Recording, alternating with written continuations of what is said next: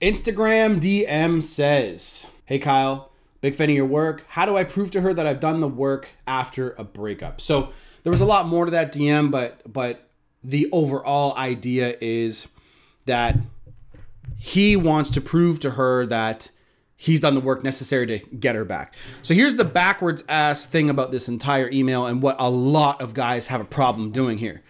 It is not your job to prove to her that you're a man, that you're on your purpose and you're grinding your passion and all that shit. It is not your job to sit here and get a great body after she breaks up with you. It is not your job to do that. It is your job to go and do that and then radiate your self improvement, radiate your vibe, your energy. And then if she comes back, she does. If she doesn't, she doesn't. It isn't your job to prove to anybody how badass you are. It's a job to prove that to yourself and embody that in yourself. That is your fucking job. It is not your job to prove to a woman that you're dope. The biggest issue is you're still trying to go external and change your life. It doesn't work like that. You're changing your life comes from within here and within here through reading books and consuming content and embodying the shit that you learn. That's how you change your life. You don't prove to a woman how dope you are. She just knows you're dope by how you act. Women are attracted to you through your obviously your looks to a degree, your attitude, your personality, and the actions that you take in life. See, women fall in love with their ears, they say. Men fall in love with their eyes, they say, which I believe is true because men, all men want is a beautiful, hot girlfriend to date and have sex with on a constant basis, on a, on a consistent basis. So the fact that you're sitting here trying to prove to her that you're a dope guy is backwards. Okay, you're this like this is an ego satisfaction thing because you want to prove to her and yourself that what she thinks about you isn't real. That's why it's backwards. So what what do you need to do? Right? Say this in every single video. Focus on your purpose, focus on your passions, focus on what you want to do in life. When you do that on a daily basis, guess what's going to happen?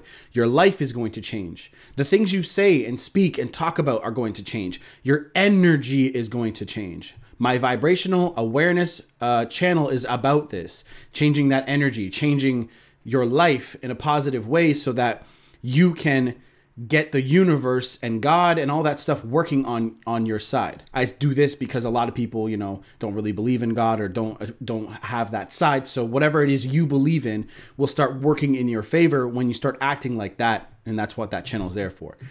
So men, don't go out don't go out there trying to prove who you are. Be who who it is and let your energy speak for itself. Short video, but definitely needed. Don't go out there trying to prove to anybody who the fuck you are. You're awesome as it is, but get better. If you have a problem keeping women, get better at it. Okay? Big one of my biggest issues, the reason that I am the person that I am today is because I had a problem keeping women, never getting them. Getting them was easy for me, right? Cuz I was always confident all the time, even when I had nothing, right? I was just like, "Hey, you're beautiful. Like, let's talk, let's hang out, let's chill. What's up?" Right? And I'd sit down with them, I'd stare at them in their eyes and and and say fucking hilarious shit, shit because I didn't care what they thought, and that made them want to. They were attracted to me that way.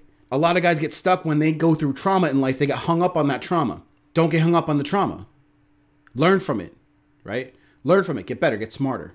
That's what my biggest issue was keeping women. The reason why I had a problem keeping women was because I started caring more about them and what their needs were and what they were focused on than my own. Another form of that is proving to her that I care about her more and and trying to love her more and trying to get her to like me more by loving her more. You know what I mean? It's, it's, it's backwards. You're supposed to be quite selfish. Okay? Become selfless when you have so much abundance that it hurts. all right, guys, take it easy. See you in the next video. Everything's down below. Coaching and all that shit's down below. See you guys in the next one. Done.